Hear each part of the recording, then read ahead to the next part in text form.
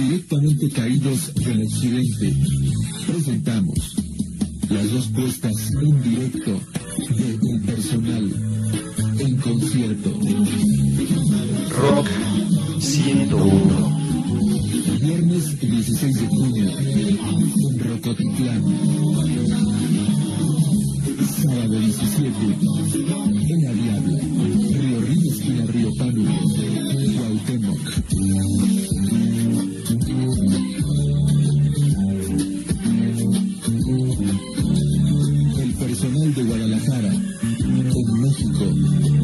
Ciudad. Rock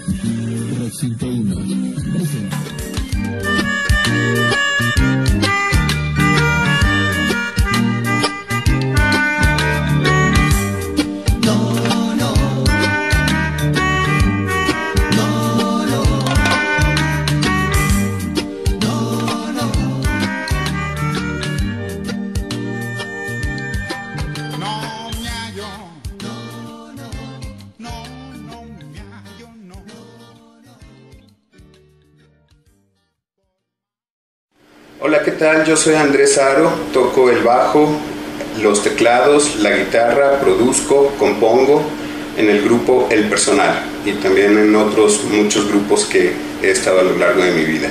Un saludo para todos los que ven buscando al rock mexicano. Año de 1986, muy presente tengo yo en un departamento de Jalisco, el personal se formó.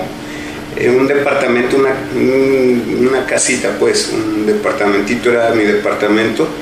En 1986 eh, yo le pedí a Julio Aro, que en paz descansa, que no es hermano mío, que hiciéramos un grupo porque hacemos una revista de humor, según nosotros guarro, eh, que se llamaba Galimatías. Y esa revista llegó a su fin y cuando llegó a su fin eh, nos quedamos sin nada que hacer por las tardes, Julio y yo. Yo era el administrador de la revista, Julio escribía unos textos en esa revista. Eh, quiero también mencionarles que Julio Aro antes del personal nunca había compuesto una canción, no era músico, no tocaba ningún instrumento, sabía algo de piano, algo de guitarra acústica, pero él era más bien bolerista, o sea, le gustaban los boleros y le gustaba, sí, la trova cubana. Eh, él eh, tenía estos antecedentes negros, pero bueno, nadie es perfecto en esta vida. Eh, yo venía de tocar en varios grupos ya, eh, todos ellos de rock. Yo sí, desde los 18 años había tocado el bajo, primero en un grupo que se llamó Plasmodia, que hacíamos rock eh, eh, eh, progresivo según nosotros. Muy curioso porque la mitad er- de las composiciones eran composiciones propias y eran composiciones de otros grupos. Tocábamos rolas de Pink Floyd, tocábamos este, rolas de Dire Straits, eh, así, ¿no? Y ese grupo Plasmodia, la mitad de sus composiciones eran en español y la mitad en inglés. Después de Plasmodia yo estuve en otro grupo que se llamó Opus Night y después eh, tocando el bajo, en ese momento yo tocaba el bajo eléctrico, que hacíamos rock progresivo, también en español. Ahí el compositor principal era Carlos Sánchez Gutiérrez, hermano de Alfredo Sánchez, que posteriormente formó parte del personal, no como fundador, sí ya como un músico agregado en posteriores formaciones, porque también déjenme decirles que el personal ha tenido alrededor de 15 o 16 formaciones a lo largo de su historia. La primera formación del personal fue, ah, les decía, también me faltó otro grupo antes del personal que fue importante también porque yo de ahí eh, derivó mi gusto por la producción musical, eh, que, que era Gerardo Enciso. Yo era el bajista, el bajista de Gerardo Enciso en un grupo que se llamaba El Poder Ejecutivo. Y entonces también hacíamos esta revista, pero viene a su fin esta revista y yo tenía un pequeño estudio de grabación, multi- multitracker de cuatro tracks que se grababan en cassettes. Y le dije a Julio, oye, hay que juntarnos, ¿no? Por las tardes a, a hacer unas rolitas, ¿no? Y Julio accedió, Julio escribía las letras y cantaba, y yo tocaba la guitarra, el bajo y programaba una maquinita de ritmos, una RX17 que tenía de Yamaha. Eh, y de, ese modo surgieron las primeras ocho canciones del personal, yo le puse el nombre a la banda. Eh, y, esas, esas, ocho canciones que surgieron de esa primera aproximación entre Julio y yo, hicimos un cassette con seis de esas canciones, seis de las ocho. Y ese cassette llegó a, a, manos y oídos de un iluminado que está en este planeta Tierra que se llama Rogelio Villarreal, que en ese momento hacía una revista que se, llama, se llamaba La Regla Rota, que después se llamó La Pusmoderna, o no sé si me estoy equivocando, y primero se llamó La Pusmoderna y luego La Regla Rota, pero era, él, él, él era un editor de esta revista. Es el editor actual de la revista Replicante, que les eh, aconsejo muchísimo que lean. Y él, en ese momento, te estoy hablando ya de 1987, o sea, un año después de que Julio y yo habíamos empezado a hacer estas canciones en mi departamento, eh, un año después, en 1987, nos invitan a, a, Rogelio Villarreal y el Mongo, Ramón Sánchez Lira, eh, a, a, presentarnos en el Bar 9, que en ese momento era como la catedral del rock mexicano. Eh, a lo que nosotros respondimos inmediatamente que no éramos un grupo de rock. Yo agradezco mucho aquí a Ricardo Rico que nos tome en cuenta para sus semblanzas, pero se los advierto, jóvenes, eh, que no somos un grupo de rock.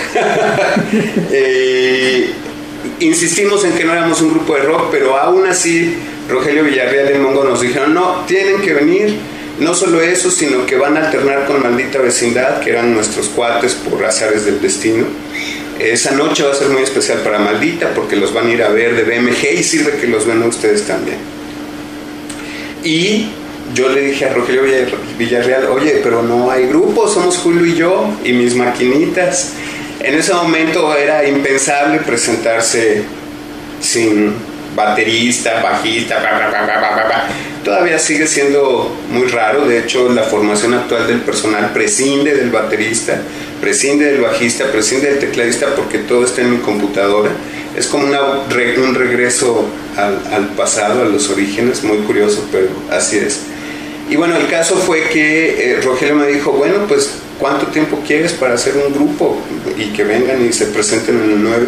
Yo le dije, mira, dame 3, 4 meses. Y así fue. Eh, nos dieron una fecha para 4 meses después y en esos 4 meses montamos a esta primer banda posterior a la unión de Julio y mía, eh, que esta primera banda fue Alejandro López Portillo en la batería, Carlos Domínguez en el xilófono de juguete y los coros, eh, eh, Juan Miguel López Portillo, hermano de Alejandro, en los teclados y actual miembro de Radiopatías, no sé si ubiquen este grupo, que es un grupo de humor, no es de rock tampoco, pero bueno, es un grupo de humor de Guadalajara, muy buenos. Bueno, Juan Miguel López Portillo en los teclados, este, Oscar Ortiz en la guitarra, a quien yo le enseñé a tocar guitarra para que formara parte del personal, porque él era eh, roommate de Julio, compartían un departamento, tampoco eran pareja ni tampoco tenían nada que ver. Oscar es heterosexual, Julio era gay, pero no vivían juntos, pues, ¿no? Este, Oscar siempre ha sido un hombre de, de mente muy ágil, abierta, muy inteligente y bueno era su roommate y Oscar participaba en Matías también como escritor y Oscar dijo, yo quiero, yo quiero participar y entonces le enseñé a tocar guitarra para que nos acompañara y yo en el bajo. Esa fue la formación que vino al 9 a presentarse. Tuvimos un éxito arrollador. Esa misma noche nos contrataron para una, to, tocar en una fiesta el día siguiente con Minot, un grupo que por aquellos entonces sonaba, en una fiesta en la colonia del Valle, creo, o algo así, este, en una casa abandonada, eran unas de estas fiestas underground. Los organizadores nos dijeron, si llega la policía, agarran sus instrumentos y corren. Eso sí suena como rockero, ¿verdad? bueno, este, esa fue la primera formación del personal. Eh, posteriormente entró Pedro Fernández a sustituir a Alejandro López Portillo, salió Carlos Domínguez, salió Juan Miguel López Portillo también, entró Alfredo Sánchez y entonces con estos cinco que te estoy mencionando, Julio Aro en las vocales, por supuesto en la formación anterior Julio Aro en la vocal y en el melodión y en las letras, eh, Julio Aro en las vocales, melodión, Óscar Ortiz en la guitarra, Alfredo Sánchez en los teclados, Pedro Fernández en la batería y tu servidor Andrés Aro en el bajo, grabamos nuestro primer disco que se llamó No Me Hallo. Esto lo hicimos en 1987, a finales de 87, en diciembre de 87, y el disco salió en el 88, si mal no recuerdo. Grabamos un vinil, eh, era un bello disco, con un hoyito en medio. y tenía dos lados, lo volteaba uno, lado A y lado B, y ocho canciones. Nada más que habían ocho canciones en, en- en el LP. Este LP No Me Hallo acaba de cumplir 25 años el año pasado. Y me da mucho gusto porque ya van 25 ediciones de ese disco. No ha salido el catálogo nunca, a Dios gracias, y este sigue en el gusto de la gente. Es el disco del personal que más se vende. Eh, de, ese disco, la canción que más gusta y que más se baja es Nosotros somos los marranos. No sabemos también por qué la gente eh, se identifica inmediatamente con este himno ahora que me he dado cuenta también a través del tiempo que lo han grabado ya varias bandas, lo cual también me da mucho gusto. Este, igual que nuestra canción que da título al nombre No Me Hallo, la grabó incluso el ahora recién finado y que Dios lo tenga en su gloria Johnny Laboriel, entre muchos otros. Astrid Haddad también grabó No Me Hallo, Amanditita, eh, Ca- Cabrito Vudú, en fin, una serie de grupos que nos honran muchísimo al grabar nuestras canciones. Puerquerama grabó Nosotros Somos los Marranos, eh, Los Estrambóticos grabó Nosotros Somos los Marranos. En fin, a, a través de estos 25 años el personal, y no me hallo, en específico este primer disco, eh, se ha convertido en un referente y en un parteaguas dentro de la música, insisto, popular, no tanto del rock. Eh, parece ser que nosotros fuimos de los primeros que nos atrevemos a romper con muchísimos paradigmas como la cuestión de la letra, ¿no? Eh, que la letra no dijera estupideces y que fuera muy cuidada. Cuando Julio y yo nos juntamos y dijimos, ¿cómo va a sonar el grupo? le dije, mira, como sea, pero que, que, que no suene al tri. Entonces, eso ya también definió claramente que no queríamos acercarnos mucho a esta cuestión de boogie, boogie blues, rhythm and blues. No era lo nuestro, nos interesaban más las fusiones que en ese momento estábamos aprendiendo de Jamaica. También, según me dicen el personal, fue el primer grupo en el mundo que hizo reggae en español junto con otro grupo argentino que se llamó Sumo, fuimos contemporáneos.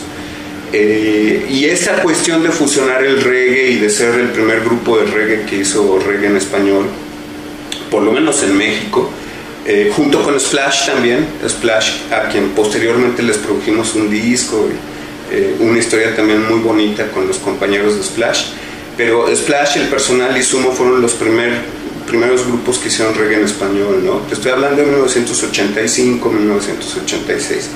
Bueno, sale este primer disco, No Me Hallo, y sale en julio del 89. Ahora, ahora me queda perfectamente claro, fue en el 89 cuando salió el disco. Eh, lo grabamos en el 88. Y me acuerdo ahora claramente porque en 1989, el- el- en- en- a finales de octubre, precisamente este mes, Pedro Fernández, nuestro baterista, murió. Eh, él ya estaba un poco enfermo de SIDA y tuvo complicaciones, entró al hospital y un mes después falleció. A finales de octubre, no me acuerdo si el 28, 29, 30 o 31 de octubre, pero una cosa así, ¿no? Esto obviamente empezó en nuestro ánimo de- de una manera muy especial, sobre todo en el de Julio, porque Julio también ya estaba enfermo, él ya lo sabía, ya sabía que tenía SIDA y en ese momento el SIDA era fulminante y mortal, no era como ahora que más o menos ahí se puede controlar, ¿verdad? En ese momento era sentencia de muerte. Entonces cuando Pedro murió, Julio pues le, le pudo mucho, ¿no? Intentamos tocar sin Pedro con la maquinita, y en esto hubo una especie como de eh, eh, paralelismo con el trabajo de Café Tacuba, a quienes también conocimos en sus inicios. Eh, y, hubo así como influencias recíprocas, ¿no? Eh, no, nosotros fuimos un poco anteriores a Café Tacuba, no es que nosotros los hayamos influenciado, pero hubo ciertos paralelismos, aunque eh, ahora que presentamos eh, la Feria Internacional de la Música de Guadalajara, Rubén Albarrán tuvo a bien cantar con nosotros algunas rolas y nos comentaba que sí, que sí nos habían escu- escuchado y que si bien no era una influencia de Café Tacuba, sí nos veían como una banda interesante, con, con propuestas originales, ¿no?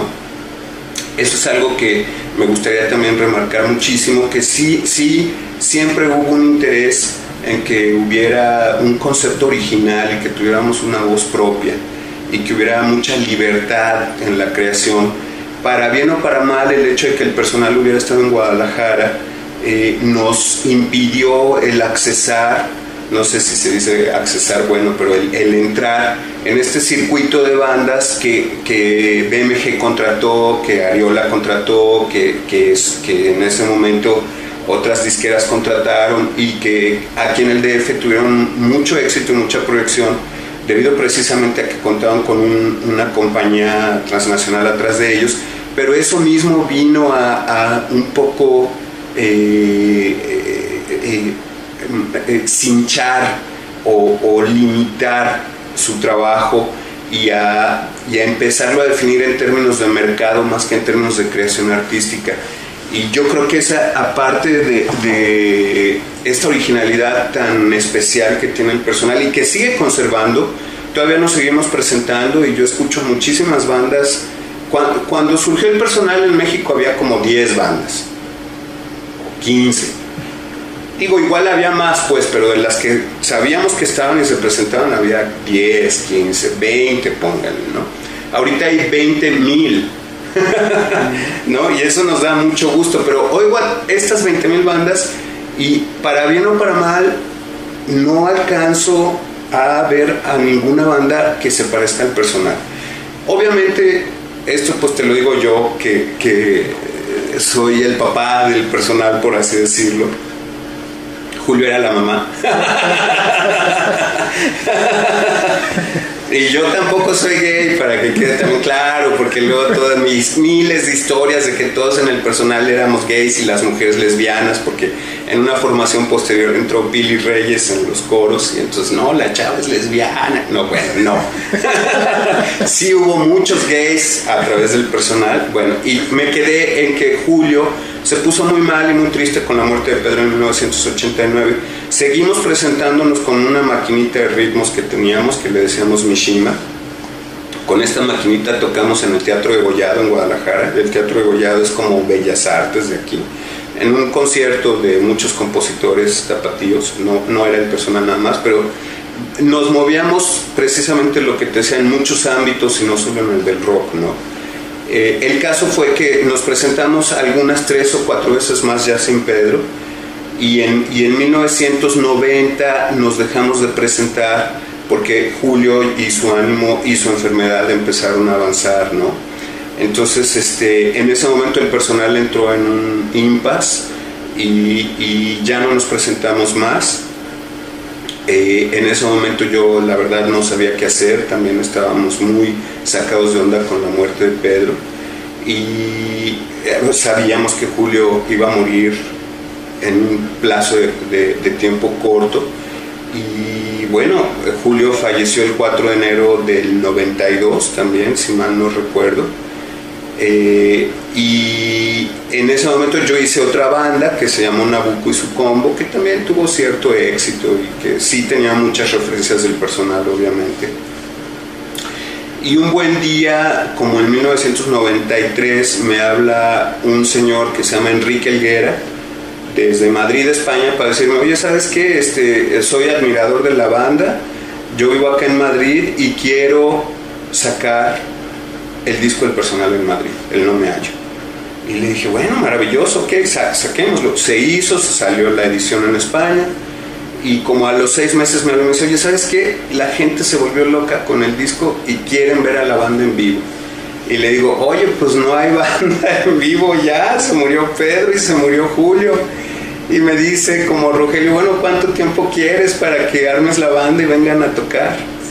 Y le dije, bueno, dame seis meses.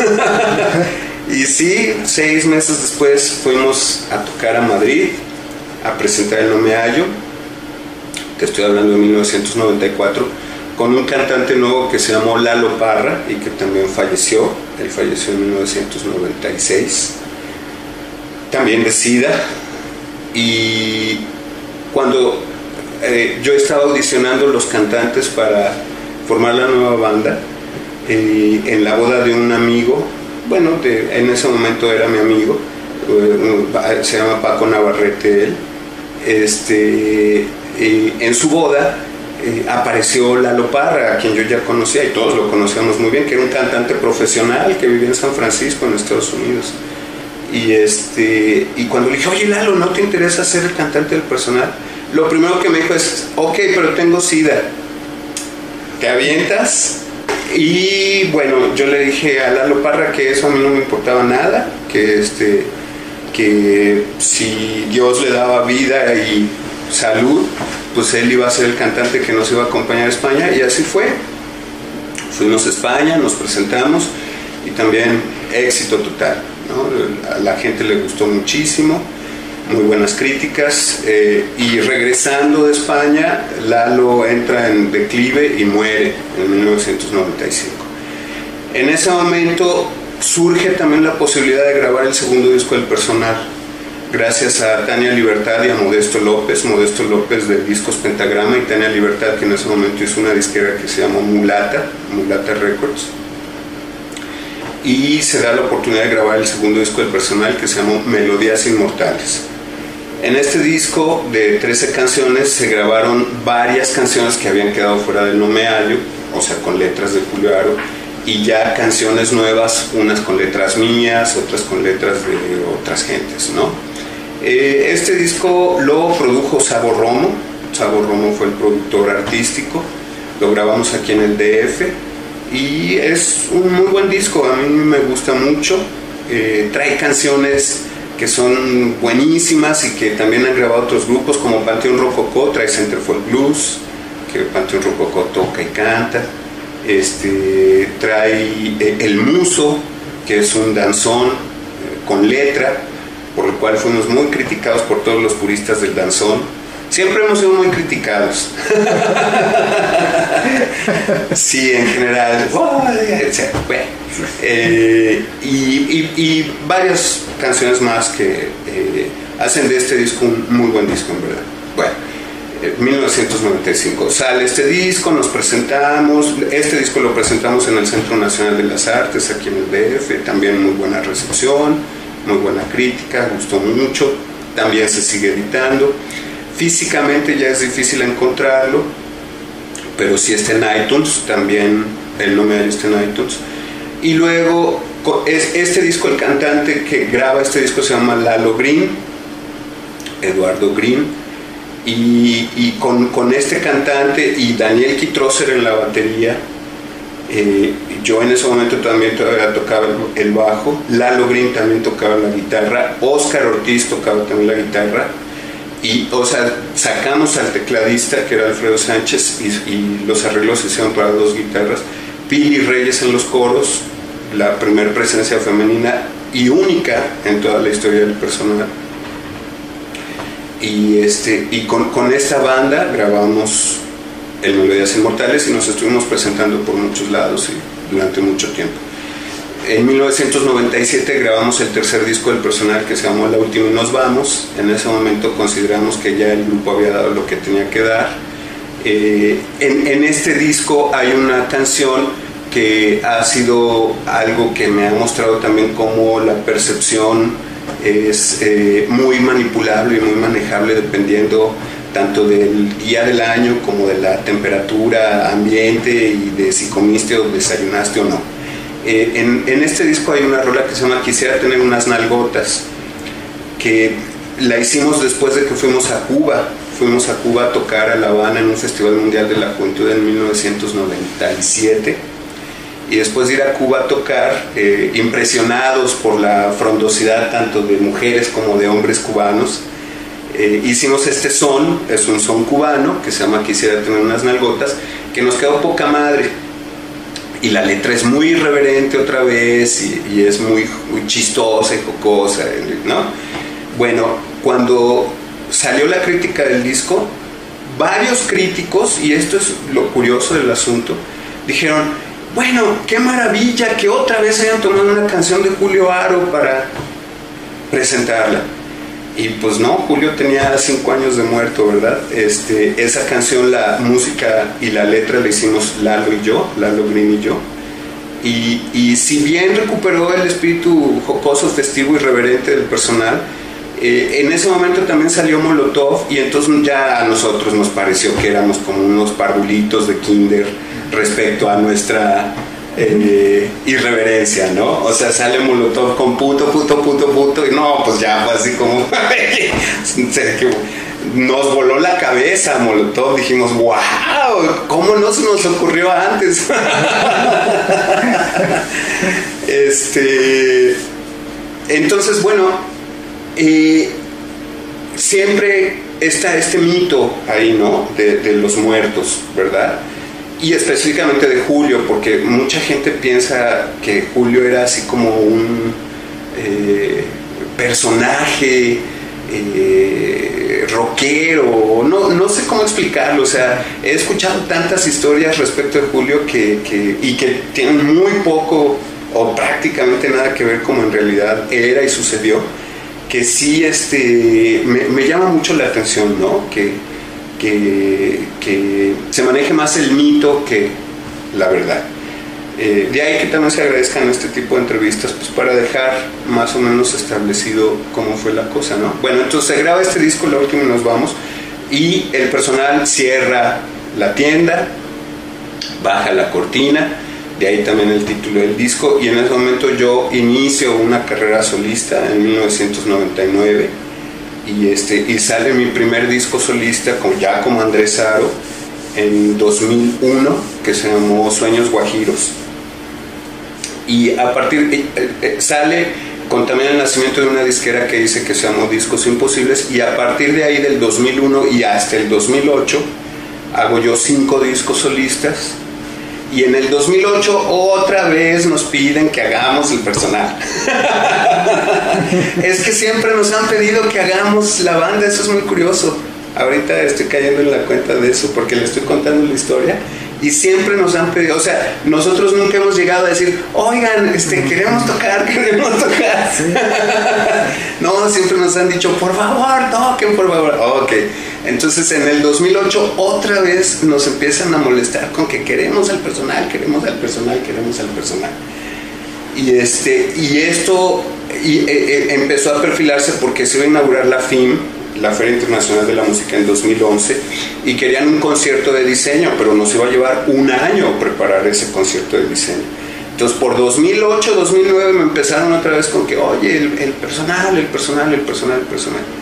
Y, y, no solo la FIM, fue así como sincrético una vez más, y muchas gentes me empezaron a pedir, por favor, cuando yo tocaba, me, siempre me pedían, la tapatía, ok, pues la tapatía, y tocábamos la tapatía los marranos, ok, tocamos los marranos. Y llegó un momento en que ya estaban tocando la mitad de mis nuevas rolas y la mitad del repertorio del personal, ¿no? Y siempre, por favor, el personal, personal. ok. Y entonces en 2010 decidimos una vez más reagruparnos y yo ya había switchado de tocar el bajo a tocar la guitarra eléctrica y este, en estos cinco discos que te digo de como solista, solo el Sueños Guajiros toqué el bajo, aunque hice toda la producción. Eh, siempre he trabajado con mi estudio y entonces yo, pues hay veces que toco de todo. En, el último disco que hice solista, que se llama El Amor de Veras, que es del 2008, toqué el bajo, la guitarra, los teclados, percusiones, canté, bla, ¿no? Eh, etcétera. Este, el caso es que en 2010 volvemos a hacer el personal, esta vez con Daniel Kitroser en la batería, César Maliandi en el bajo, Alfredo Sánchez en los teclados, Emiliano Huerta en las percusiones, Gustavo Orozco en la guitarra. Gustavo Orozco fue guitarrista de Maná, de Sombrero Verde, eh, con una trayectoria muy, impresionante, un súper guitarrista que es con quien actualmente estoy trabajando, con Gustavo Orozco, que ahorita es parte del personal. Eh, tu servidor en la otra guitarra y Billy Reyes eh, cantando también coros. En ese momento no teníamos un frontman, un cantante, cantaban César, cantaban Alfredo y cantaba Daniel en la batería. Con esta formación nos presentamos en el Vive Latino 2012 y posteriormente también nos empezaron a dar lata con que otro disco, otro disco, otro disco. Ok, pues ahí les voy otro disco. y este, en 2012 hicimos este disco que se llama Sabe qué modo, que contiene el hit La torta ahogada y otras siete canciones más, siguiendo con la tradición del personal en una fusión de ritmos afroamericanos, afrocaribeños. Seguimos muy alejados del tri, bendito sea Dios, en cuanto a nuestra propuesta musical. Eh, sigue siendo consigna no sonar como el tri. Eh, quisiéramos ser un poco más como Molotov, pero no nos sale, lo hemos intentado, no, no, no, no nos sale. Este, en, la irreverencia grosera, ¿no? Mm, no, no nos sale. Eh, en mi generación todavía nos daban reglazos en la mano si decíamos groserías y entonces nos, nos cuesta mucho trabajo este, ser tan irreverentes, ¿no? Pero bueno, este disco, ¿sabe qué modo? También ha sido bien recibido por la crítica a algunos críticos les, les pesa que no esté la pluma de Julio Aro incluida, pero ahora está un escritor que se llama Dante Medina, que escribe muy bien y que nos ha honrado con varias letras eh, que están muy buenas y con quienes seguiremos trabajando. Te comentaba que hace una semana salió un nuevo sencillo de una rola que hicimos Julio y yo hace 26 años que se llamó El Último Camión, que se llama El Último Camión y que por angas o mangas y circunstancias no había salido ninguno de los cuatro discos del grupo. Y ahora ya no nos interesa hacer un LP, sino ya, ya también la, la, dinámica de la producción ha cambiado mucho y hacer un LP ya, ya no tiene mucho caso. Antes eran como obras conceptuales completas, pero ahora eh, más bien es una colección de sencillos, ¿no? Entonces, eventualmente cuando juntemos 8 o 10 sencillos los pondremos todos en un disco y saldrá el nuevo LP del personal. Ahorita estamos trabajando en una canción que se llama ¿Dónde está tu hermana? que este, esperemos les guste y sea de su agrado.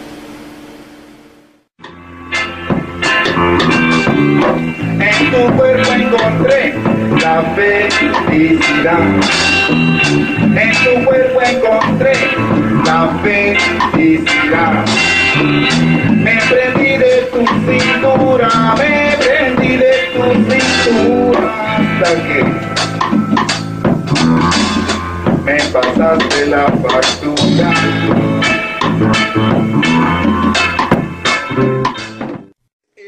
Una bolita cuando uno es joven es muy gregario eh, y le importa mucho los amigos y estar con los amigos y eh, eh, siempre estábamos juntos una bola de gentes en la que estaba Julio Aro, José Ignacio Solórzano Gis, el Monero, este, Paco Navarrete, mucha gente. Oscar Ortiz, y siempre que llegábamos a una fiesta nos decían, ya llegó el personal macizo, pero yo como que pensé, el personal macizo no es buen nombre.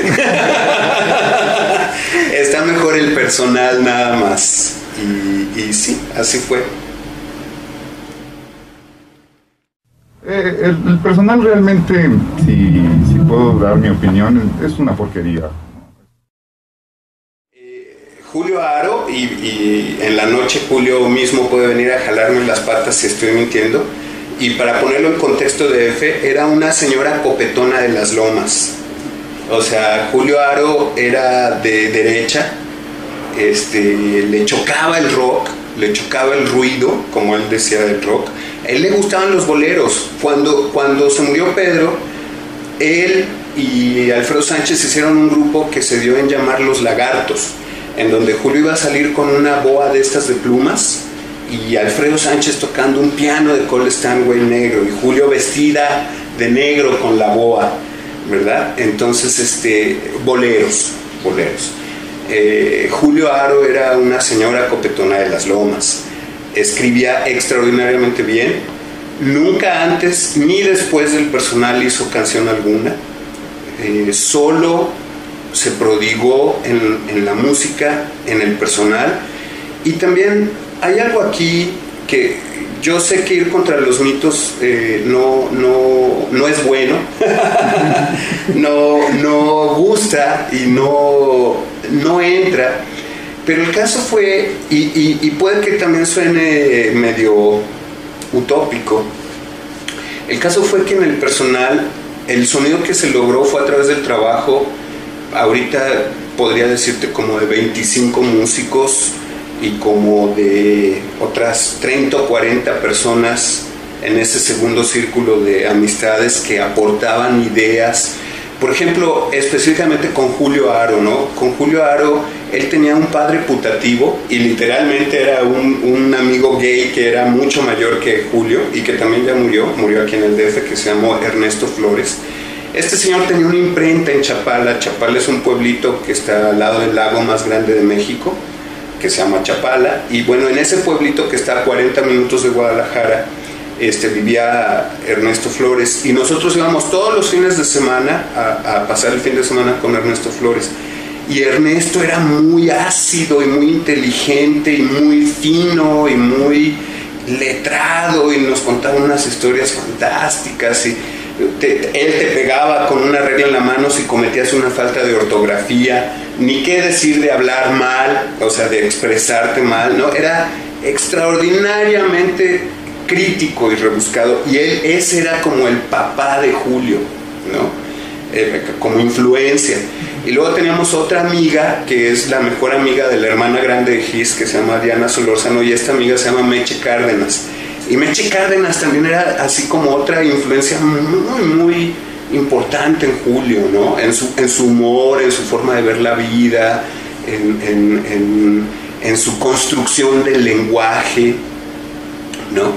Entonces, no, no fue que Julio fuera un genio que de un de repente brotó. Sí, Julio era inteligentísimo y era buenísimo escribiendo. Lo que hacía en Galimatías Julio, escribía una columna que se llamaba Las aventuras de Gay Lussac, este, de un detective gay. ¿Verdad? Les estoy hablando hace 25 años, cuando decir que eras gay era así como, no mames. Ahorita yo sé que más bien lo raro es ser heterosexual, pero, pero en ese momento ser gay era. A Pedro lo madreaban todos los fines de semana. Pedro también era gay. El baterista, Pedro Fernández, y Julio era gay, pero Julio era más refinada. Eh, Pedro sí salía a jotear y entonces todos los lunes llegaba madreado de que lo madreaban porque era gay, ¿no? Este, el caso es que Julio no, no, eh, o sea, no, no fue un genio musical. Julio abrevaba de muchos lados. El solo de Melodión de No Me Hallo, por ejemplo, estábamos atorados y precisamente César Maleandi estuvo, eh, César Maleandi es un músico argentino que llegó muy joven a Guadalajara, eh, bajista y flautista y productor. Eh, y, y, estábamos atorados y no nos salía el solo de No Me Hallo, de ¿no? Y entonces Julio le dijo, híjole, ¿qué? ¿Cómo le hago? ¿Cómo le hago? Y César le dijo, ¿cómo, cómo qué, como qué se te ocurre? ¿Cómo qué sentido le quieres dar? Pues como mini de mush que es un- una, canción de una ópera de Bertolt Brecht, si no me equivoco, o si me estoy equivocando, mira. Anyway, bueno, el caso es que este eh, eh, César le dijo, ¿qué te parece? ¿No? Que es como de 1920, 1925. Julio dijo, oh, está genial. Entonces, por ejemplo, la aportación del solo de No Me Hallo es de, Melodión, es de César Maliandi, ¿no? Eh, la aportación de, de la idea de No Me Hallo es de Óscar Ortiz.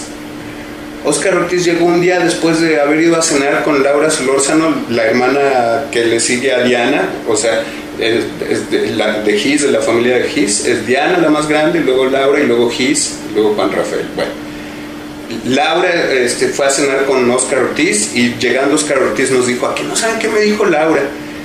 ¿Qué, ¿Qué te dijo? Que no sabe lo que quiere ni en dónde ni con quién. ¡Oh! A escribir, ¿verdad? No me hallo, ¿no? Este, de ahí salió No me hallo, ¿no? De hecho, el disco se iba a llamar, el No me hallo se iba a llamar El Menjurje, así quería Julio que se llamara el disco. Por esta cuestión de las fusiones y todo, y todo no, no, no, es un nombre horrible, no, no, no me hallo, está mejor, ok, no me hallo. Fue una cuestión grupal la decisión de cómo se iba a llamar el disco, ¿no? Entonces, toda esta cuestión de- del mito de Julio como un gran genio, híjole, pues lo siento, pero no fue así. O sea, sí, sí era muy inteligente y sí, sí era genial y sí hizo unas letras maravillosas. Eh, Dale de comer al conejito llegó, fue, te decía que nos juntamos él y yo a hacer ocho canciones. Fue como la tercera o cuarta canción que hicimos. Un buen día llegó Julio con toda la letra hecha y me dijo, mira, mira, hice unas décimas jarochas, ¿cómo, ¿cómo le podemos hacer la música? Y yo le dije, ay, maestro, que sea un reggae jarocho. Pero la letra la hizo completita Julio de pia pa, de, de darle de comer al conejito. Pero no pasó así con, to- con todas las letras. Nosotros somos los marranos. Surgió porque un día nos invitaron a un festival ecologista y como nos caían gordos los ecologistas, todavía nos caen gordos. Y por cierto, Greenpeace usó nosotros somos los marranos por años y años y años sin pagar un peso de regalías. Gracias, Greenpeace. Este, hicimos nosotros somos los marranos. No fue, qué sé yo, que, que un día bajara una musa del cielo y ¡ting! tocara con su varita Julio. Muchachos, tengo una nueva canción que se llama Nosotros somos los marranos. No, no fue así. Niño de GCA y surgió porque la hija de Oscar Ortiz, que tenía tres años en ese momento, se estaba descubriendo su sexualidad y Oscar y, y, este, Tere, mamá, se la pasaban diciéndole a Alejandra, "Ch, déjate ay, déjate ay, déjate ay. Niño de GCA, ¿verdad? No, no fue tampoco un... un- un- y, y se puede ver muy claramente las que fueron como tallereadas y grupales, Niño de GCA Los Marranos, No Me Hallo, a las que fueron escritas solo por Julio, como es eh, Dale de comer al conejito y No Te Hagas, que son, eh, es, es una lírica más reconocible como de una persona, ¿ves? Entonces, ciertas letras del personal sí las hizo completas Julio, pero otras no. Y, este, y como te digo, en realidad fue el trabajo de mucha gente, la influencia de muchas gentes. Eh, Pedro Fernández, por ejemplo, Pedro Fernández entró como baterista del personal un día que le abrimos un concierto a Gerardo Enciso, porque se sacó de onda de que nuestro baterista se le fuera el tempo. Entonces él agarró una, bate- un- un- una tarola, la puso al lado del, del baterista y le empezó a dar en medio del concierto. Él era el baterista de Gerardo Enciso. Y todos nos quedamos así como, ¿qué pedo? Bueno, Pedro tocaba jazz y tocaba música de vanguardia y era un músico extraordinario, tocaba violín, sabía arreglar, sabía armonía, sabía composición. Pedro hizo muchísimos arreglos y muchísimas aportaciones a la música del personal, ¿no? Eh, y eso surgió de una manera espontánea, ¿ves? Entonces, eh, pues disculpen que no abunde al mito, pero como les digo, Julio era una señora copetona de las lomas, ¿verdad?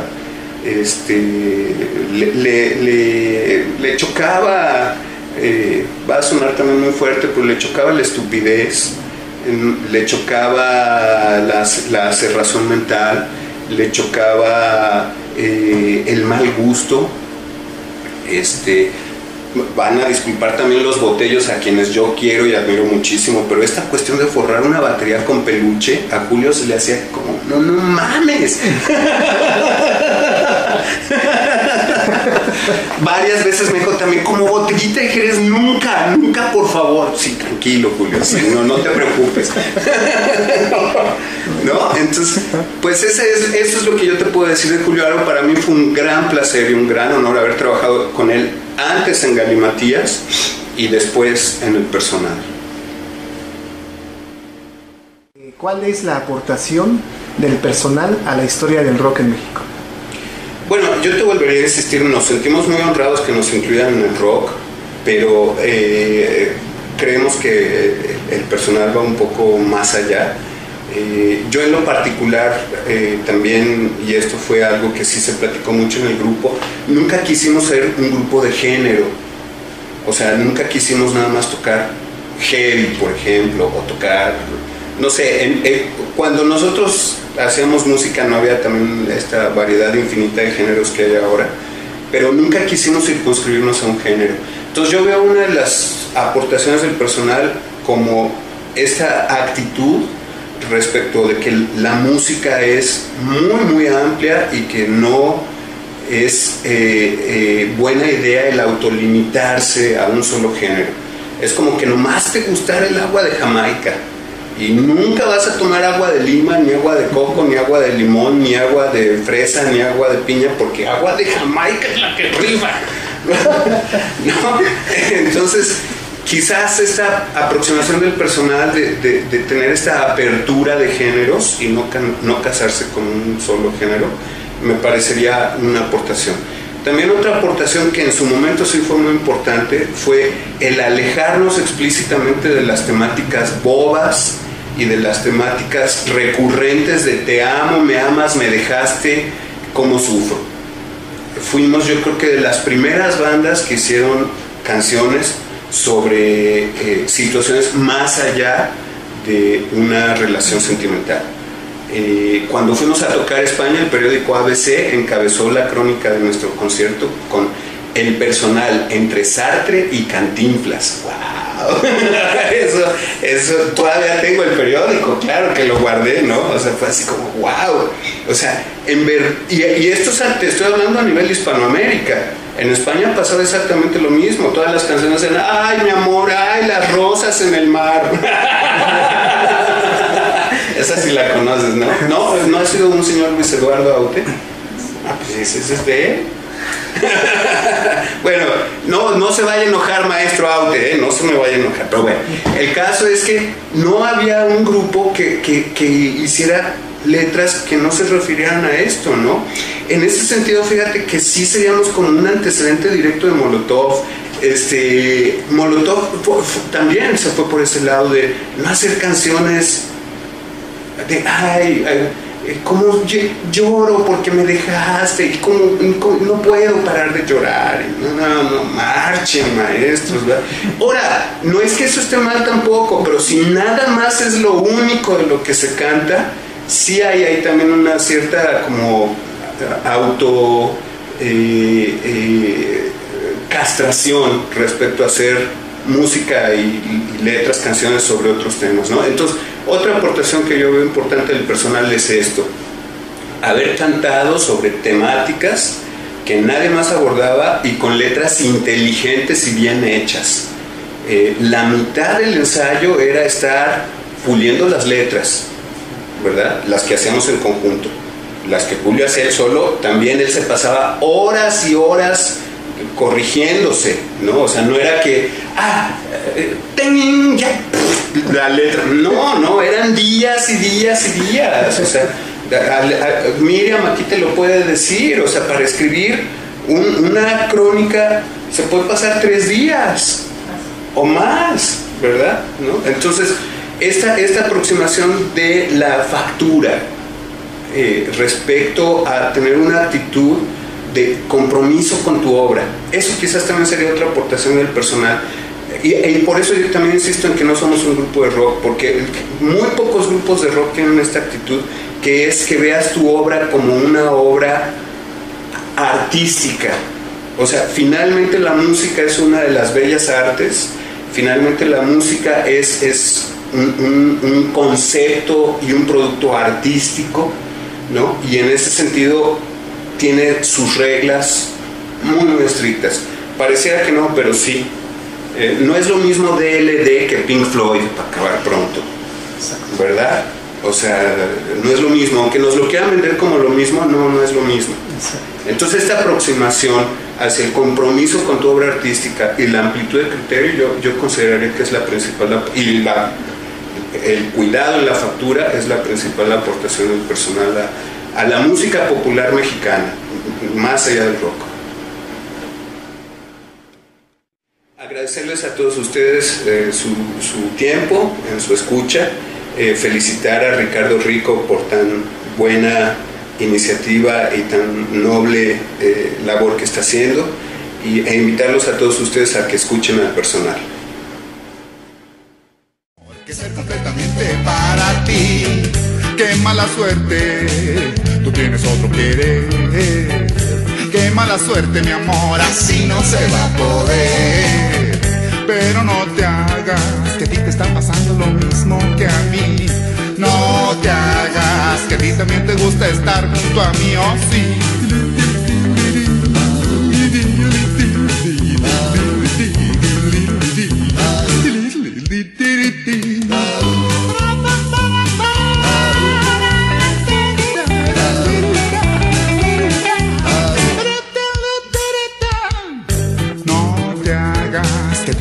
Pasando lo mismo que a mí. No te hagas que a ti también te gusta estar junto a mí. Cuando me miras, cuando te acercas, cuando sonríes, amor, es más fácil de sentir. No te preocupes, que a mí me está pasando lo mismo que a ti. No te preocupes, amor, que a mí también me gusta. Que a mí también me gusta. Que a mí también me gusta. Estar junto a ti.